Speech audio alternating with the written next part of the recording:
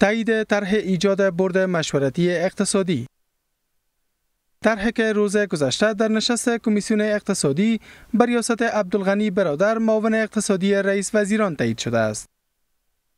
دفتر معاونت اقتصادی رئیس وزیران در اعلامیه گفته که هدف از ایجاد این برد مشوره‌دهی در رابطه به مسئله های مهم اقتصادی به حکومت است. بر بنیاد این اعلامیه در این برد مشورتی اقتصادی استادان دانشگاه، کارشناسان اقتصادی و نمایندگان صنعتکاران و بازرگانان عضویت خواهند داشت و در صورت نیاز به حکومت مشورت خواهند داد.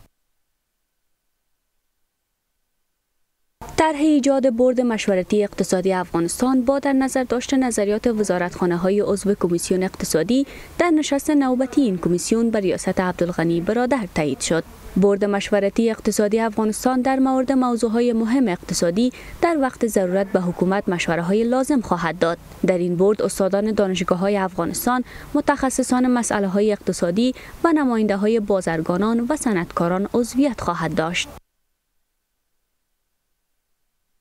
با این حال برخی آگاهان به این باورند که طرح برد مشورتی اقتصادی طرح تازه نبوده بل اثرگیری کار شوراهای اقتصادی حکومت‌های پیشین است.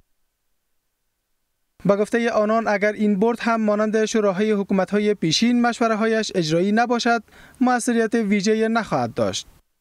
این طرح جدید نیست معنا داره که در گذشته بوده چنین چیزه و اینا دوباره او را می‌کنن امو کارشانه این عمدتا یک کمیسیونی است که یا شورای است که شورا غیر اجرایی است و تنها حرکات حرکات مشورتی را انجام میتن در صورتی که اگر شورای اجرایی باشد و کاملا کار اجرایی انجام بده باز تداخل صورت می‌گیره در تمام ادارات دیگه و جانبه تداخل صورت می‌گیره در قسمت هدایات مقامات بلندتر.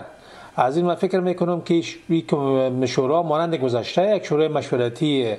است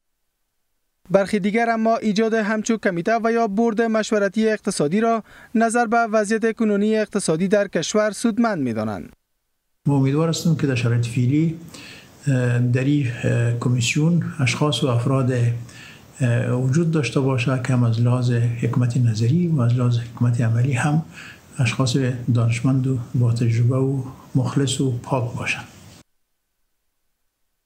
در نشست کمیسیون اقتصادی همچنان کمیته برای تهیه رهنمود ذبح مرغها مطابق اصول شرعی تعیین دو پروژه مشارکتی شهرداری کابل به ارزش 414 میلیون افغانی منظور و به کمیته مشترک از پیش تعیین شده وظیفه داده شد تا به هدف بررسی روند انتقال چوب خشک قابل سوخت از جنگل های ولایت های پکتیا، پکتیکا، خوست و لوگر به ولایت های دیگر به ساحه سفر کنند.